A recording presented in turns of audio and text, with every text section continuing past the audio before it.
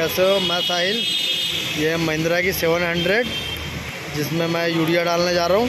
तो यूरिया कहाँ से डलेगा? ये अभी मैं आपको बताता हूँ।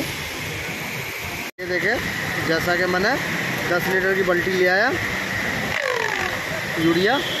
तो अभी मैं एक सू सेवन हंड्रेड, जिसमें 10 लीटर यूरिया डालूँगा। तो ये कहाँ से डलेगा? ये मैं अभी आपको बताता हूँ और दिखाता हूँ कि कहाँ से डलना है ये। कि लेफ़्ट साइड जहाँ से डीजल टंकी में, जहाँ से डीजल डलता है, वहीं से उसके साथ में एक छोटा सा ढक्कन होता है, जिसमें यूरिया डलता है। तो अभी मैंने आपको दिखाया, ये एक्स यू सेवन हंड्रेड जिसमें मैं दस लीटर यूरिया डाल रहा हूँ। तो ये देखें, कहाँ से यूरिया डलता है?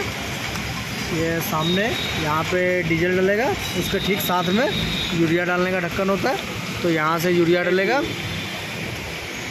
तो ये एक्स यू सेवन हंड्रेड जिसका मैं यूरिया कहाँ से डलता है, वो मैंने आपको दिखाया। तो अगर ये वीडियो अच्छी लगी तो लाइक शेयर कमेंट और सब्सक्राइब ज़रूर करना। मैं साहिल तिलक नगर जैसा कि मैंने आपको दिखाया कि यूरिया कहाँ से डलेगा तो ये एक्स यू सेवन हंड्रेड है। तो यहाँ सामने एक इंडिकेशन आ जाएगा एफ़ डी पीला निशान आ जाता है, जिससे यूरिया ख़त्म हो जाने के बाद एड ब्लू भी बोलते हैं, यूरिया भी बोलते हैं। तो यहाँ पे सिंपल सा एक निशान आ जाता है कि कितना कितना किलोमीटर चलेगी गाड़ी। और इससे नुकसान ये है कि अगर ये ख़त्म हो जाएगा तो आपकी गाड़ी बंद हो जाएगी और स्टार्ट भी नहीं होगी। तो ये जब भी आप लॉन्ग रूट पे या कहीं भी जाएँ तो इन चीज़ों का ध्यान रखें कि यूरिया आपकी गाड़ी में पूरा होना चाहिए। तो अगर ये ख़त्म हो जाएगी तो आपकी गाड़ी स्टार्ट नहीं होगी। तो ये एक सू सेवन हंड्रेड है।